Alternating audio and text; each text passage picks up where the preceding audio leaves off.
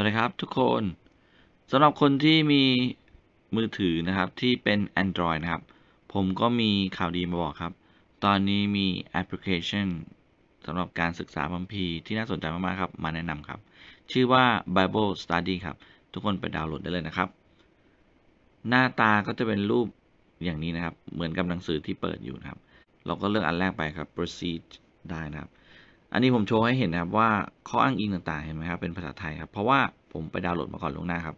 ขั้นแรกครับคลิกแท็บนะครับที่อยู่ทางด้านซ้ายมือสุดอยู่ข้างบนครับเลือกดาวน์โหลดครับแล้วก็คลิกครับตอบว่าจะดาวน์โหลดนะครับ ทีนี้ในดาวน์โหลดเนี่ยเราเลือกภาษาได้ครับในภาษาไทยเนี่ยก็จะมีพามพีให้เลือก 2 ฉบับครับก็คือไทยคิงเจมนะครับ แล้วก็เอ่อ NTV นะครับก็คือฉบับแปลใหม่ ถ้าจะเลือก 2 ตัวนี้ก็กดดาวน์โหลดได้นะครับ อ่าแต่ของผมเนี่ยโหลดไปแล้วมันก็เลยเป็นติ๊กถูกสีเขียวๆนี่นะครับผมทีนี้ถ้าเราเปลี่ยนเป็นภาษาอังกฤษปุ๊บเนี่ยโอ้โหจะขึ้นมาเพียบเลยครับ ซึ่งก็คืออหนังสือ dictionary พจนานุกรมนะครับ ที่เป็นประโยชน์กับการศึกษาพมพีครับ ซึ่งผมก็ไล่ดูจากพรมภีก่อนนะครับ ในภาษาอังกฤษที่ผมชอบมากๆครับ ก็จะเป็น NASB นะครับ God's Word นะครับ พวกนี้คือ เอ่อ God's Word น่ะอ่านง่ายนะครับผมเขาแปลได้อย่างสละสลวยดีนะครับ ส่วน NASB ก็จะแบบว่าคงความดั้งเดิมของอต้นฉบับที่เป็นภาษาฮิบรูนะครับ แล้วก็ภาษากรีกเอาไว้นะครับ ที่เป็นสีเทาๆคือไม่มีครับ ไม่มีอะไรบ้าง ไม่มี ESV ไม่มี The Message นะครับ ไม่มี NIV นะครับ ในส่วนของ commentary นะครับ ของฉบับภาษาอังกฤษหรือว่าส่วนคำอธิบายเพิ่มเติมครับ ผมก็เลือกเพียงแค่ TSKE นะครับ เพราะว่าตัวเนี้ยมันจะคัดลอกข้ออ้างอิงมาให้เราดูเลยครับ เราไม่ต้องไปเปิดอีกแล้วนะครับ นี้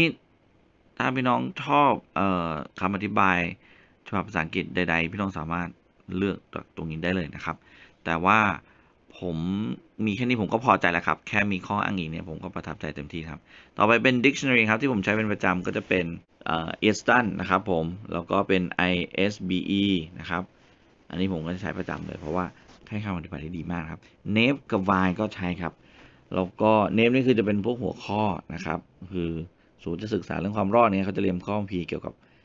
ความรอดแล้วก็ให้ความช่วยเหลือของเราครับว่าความรอดคืออะไรมาจากยังไงอะไรพวกนี้นะครับ ลองไปศึกษาดาวน์โหลดดูได้นะครับครับ อันนี้อะมาลองโชว์ให้เห็นเมื่อกี้เห็นภาษาไทยแล้วครับวิธีใช้ครับ ก็เลือกแถบข้างบนครับ เลือกหนังสือที่เราดาวน์โหลดมาครับบนสุดเลยนะครับนี่ผมเลือกมาแล้วนะครับ ก็เป็นฉบับเห็นไหมครับ NTV ครับแปลใหม่ล่าสุดครับ วิธีลบไอแถบข้างล่างครับ ก็คลิกที่ 3 ขีดนะครับผมแล้วก็เลือกคำว่าปิดนะครับ นี่คืออ่านพัมพีครับ ทุกคนบอกว่าอ้าวก็ได้ง่ายใครๆก็มีนะพัมพีที่ไหนก็ได้ การทักทายของเปาโล ข้าพเจ้าเปาโลอัครทูตของพระเยซูคริสต์ตามความประสงค์ของพระเจ้า กับทิโมธีน้องชายของเรา ประเด็นคืออะไรรู้ไหมครับ ต้นฉบับจริงๆอะของออแปลใหม่หรือ NTV เนี่ยเขาไม่มีการอ่านให้ครับ ที่พี่น้องดินเมื่อสักครู่เนี่ยมันมาจากโปรแกรมเนี่ยครับ อ่านที่อยู่บนหน้าจอให้เองนะครับ แม้แต่ฉบับภาษาอังกฤษที่ไม่มีการอัด มันก็สามารถอ่านให้เราฟังได้ครับ เรามาฟังครับ To God's holy and faithful people, our brothers and sisters who are united with Christ in the ประเด็นคือต้นฉบับ God's Word เนี่ยนะครับ ไม่มีการบันทึกเป็นแบบออดิโอไว้ให้ครับ ที่เราได้ยินไปเมื่อสักครู่เนี่ยคือโปรแกรมเนี้ยอ่านทุกอย่างที่อยู่บนหน้าจอของเราครับ สุดยอดมาก ๆ เลยใช่ไหมครับเอาละครับ เดี๋ยวคราวนี้จะมาโชว์ที่มันเจ๋งครับเอ่อ ดูที่หนังสือที่เราเลือกมาครับ อย่างผมจะเลือก TSK ครับ เพื่อข้อหาข้ออ้างอิงครับ นี่คือข้ออ้างอิงสำหรับข้อคัมภีร์ที่ผมศึกษาอยู่นะครับ ว่าข้อเนี้ยถ้าจะพูดถึงเรื่อง the sense คืออะไร ใช่ไหมครับ faithful คืออะไร ก็จะไปอ้างอิงถึงข้อพีอื่น ๆ ที่มีอยู่นะครับ ทีนี้ถ้าผมไปเปิดเอาเองอะโดยวิธีเก่าก็ได้นะ ก็ก็ค่อยๆ เปิดไปจากในหนังสือก็ได้ครับ หรือจะจิ้มอ่านก็ได้ครับ จะเห็นปุ่มข้างล่างครับ ที่เห็นว่า open เนี่ยเปิดปุ๊บเนี่ยเขาจะเอาข้อพีอ้างอิงทั้งหมดครับมาเรียงไว้ให้เราแล้วนะครับผม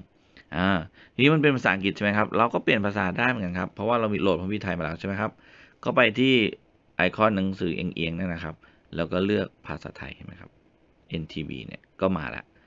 เราก็สามารถมีข้ออ้างอิงทั้งหมด